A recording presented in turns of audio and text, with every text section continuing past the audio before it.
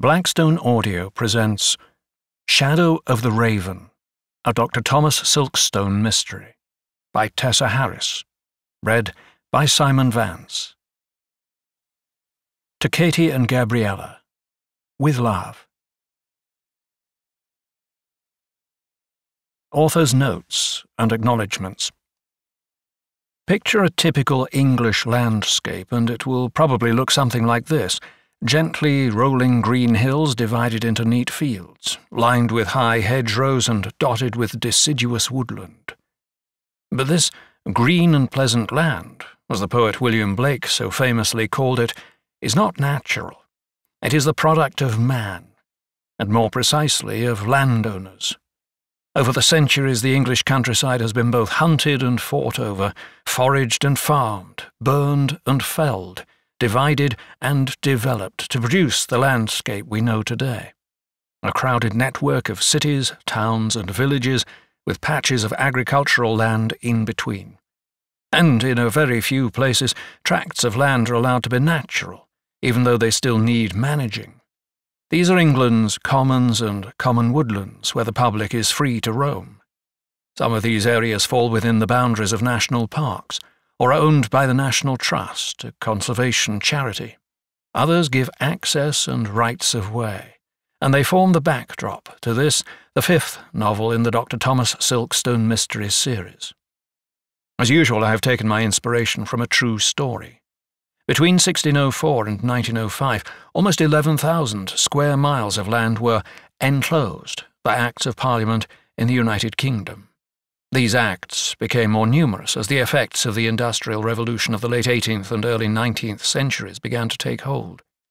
Land once farmed and enjoyed by the community was fenced off to produce higher yields, and rents were increased. As a result, many peasants were forced away from their homes to seek work in towns and cities, causing huge disruption, dispossession, and discontent, which, in turn, culminated in major riots in the 1830s. Otmoor is an area of land that lies to the north of Oxford, and my inspiration came from the resistance of its inhabitants to enclose it. Although the moorland was eventually enclosed, it took almost 45 years, several attempts at sabotage, and many violent protests before the estate's owner, the Duke of Marlborough, could achieve his goal. The people of Otmoor put up a courageous fight, often landing in jail and even risking execution to preserve their rights, which they seemed to have believed in all sincerity were given to them by a mythical lady. Some even said the Virgin Mary had originally bestowed the land upon them. In their struggle, they had much sympathy. The extraordinary account of their release from custody by an Oxford mob is well documented, as are numerous gatherings around the area that saw the deliberate destruction of scores of miles of fencing. In a handful of cases, the military was called upon to restore order. A permanent police presence had to be maintained to keep the peace. The unrest continued intermittently for many years, eventually leading to the riots of 1829 to 1830. Finally, two years later, the opposition to enclosure seemed to have melted away, and the landowners in the area had their way. In my research, I have been helped and encouraged by the following people historic firearms expert Jeff Walker, Ian McIntosh with his knowledge of fulling mills, and woodsman John Roberts of the Weald and Downland Open Air Museum. As ever, my thanks go to my editor, John Scognamiglio, my agent, Melissa Jeglinski, John and Alicia Makin, Dr. Kate Dyerson, Katie Eachus, John and Mary Washington Smith, and Liz Fisher. Finally, I wish to acknowledge the love and support of my husband Simon, my children Charlie and Sophie, and my parents, Patsy and Geoffrey.